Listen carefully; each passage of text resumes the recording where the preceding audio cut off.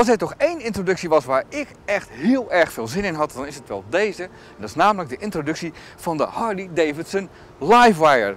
Een elektrische motorfiets en dan ook nog eens een keertje van een firma Harley.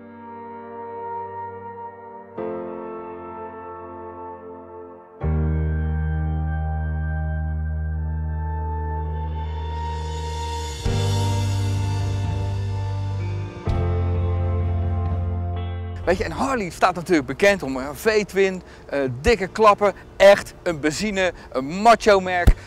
Ja, en die komen dan als eerste mainstream fabrikant met een elektrische motorfiets.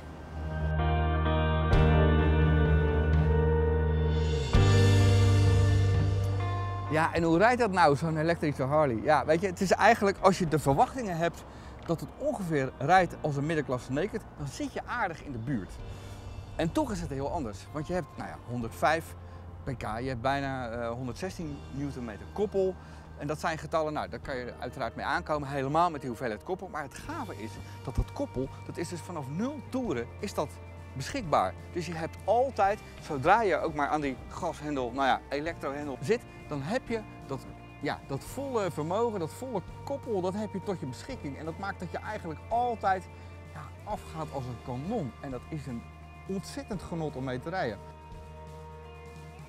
Daarbij moet ik wel zeggen, hij weegt 250 kilo en dat is toch wel ja, een goede 50 kilo zwaarder dan wat je eigenlijk bij een, ja, een, een normale middenklasse neger verwacht. En dat gewicht, dat voel je wel, weet je. In die bochten voel je toch wel dat hij op een gegeven moment, als je echt lekker aan het sturen bent, ja, dan, dan, dan wil hij toch wel wat meer de buitenkant opzoeken. Maar ja, goed, dat gewicht dat wil ook ergens heen in de bocht, dus dat is op zich niet zo gek. Waarbij ik meteen maar wel wil zeggen, het levert wel vruchten af dat Harley gewoon hele goede componenten heeft gebruikt. Want ja, hij ligt eigenlijk snaarstrak en zelfs op slecht asfalt, wat we hier toch af en toe nog wel behoorlijk hebben, ja, wijkt hij eigenlijk nauwelijks van zijn lijn. Daarbij moet ik zeggen, hij weegt wel meer, maar het gewicht zit natuurlijk allemaal redelijk laag. Ja, waardoor, het, uh, waardoor hij nooit, nooit echt de bocht invalt. Omdat het gewicht laag is, kun je hem altijd heel erg mooi een, een bocht inzetten. En hij houdt mooi zijn lijn vast. En ja, als het asfalt een beetje glad is en een beetje netjes is, ja, dan heb je eigenlijk van dat extra gewicht nauwelijks last.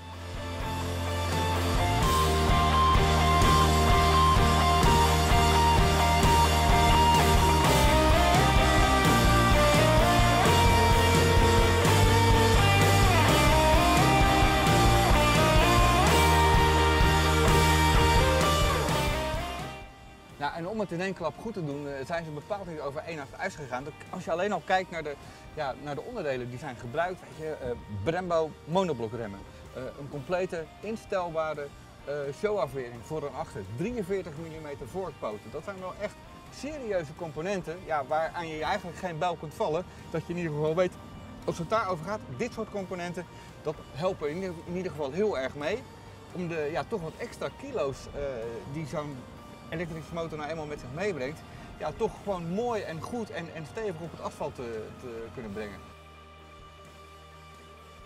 Maar nog even terug naar het design. Weet je, zo'n accupakket, ja, dat is natuurlijk één groot vierkant blok. Uh, maar als je kijkt hoe ze dat hier hebben weggewerkt, weet je, achter dat frame, dat frame wat een hele mooie lijn heeft en al die koelribben. Zo'n accu wordt ook wel warm. Dat hebben ze het is heel mooi opgelost met het toevoegen van die koelribben. Ja, en hieronder zit dus de motor. En dat vind ik dus heel mooi gedaan, want het is niet de iconische V-twin, uiteraard niet, het is een elektromotor. Maar ze hebben ook voor die motor hebben ze weer een hele eigen designtaal ja, bedacht, waardoor het er gewoon heel serieus uitziet. De motor is trouwens in de lengte geplaatst, dus er is wel een soort van uh, gearing nodig om die overbrenging te maken van, van deze kant naar deze kant. Dat zit allemaal overigens hartstikke netjes weggewerkt. Uh, gaan we even door naar de achterkant. Het ziet er allemaal uit om als door een ringetje te halen.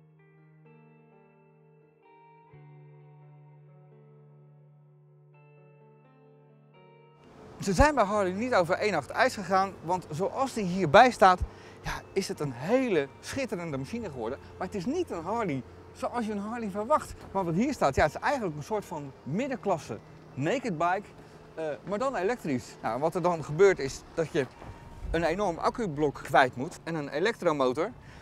Ja, en zoals ze dat hier hebben gedesigned, ja, het, het, het, het ziet eruit alsof het recht uit de, uit de Jetsons komt.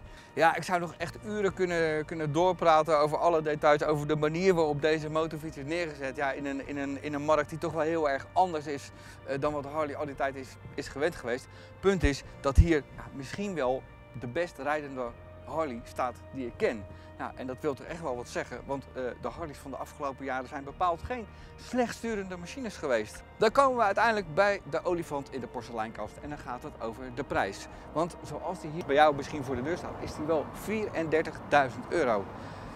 Dat is voor een middenklasse naked enorm veel geld. Als je nou kijkt in het elektrische middenklasse segment, ja, is er eigenlijk maar één ander motorfietsmerk wat, wat, wat ongeveer dezelfde naked neerzet in diezelfde klasse. En dat is de Zero, de Zero SRF. Nou heb ik de mazzel gehad dat ik die al een weekje heb gereden. Maar ik heb hem nog niet gereden in echte, gave ja, bochtomstandigheden. Die heb ik puur gereden in Nederland om mee te forensen. En om een vergelijking te maken tussen deze twee is heel erg lastig. Ja, die Zero is 10.000 euro goedkoper. En vergis je niet, 10.000 euro, daar koop je wel een extra motorfiets voor. Bijvoorbeeld een Kawasaki Z900 of iets dergelijks. Het is echt serieus geld. Als je die prijs eventjes vergeet, wat staat hier dan? Ja, dan staat hier een, een heel nieuw concept van Harley. Een echt een bijzonder gaaf, tofrijdende machine. Punt is, wat mij betreft, is dit een voorproefje van de toekomst van Harley. En ik ben er eigenlijk helemaal voor.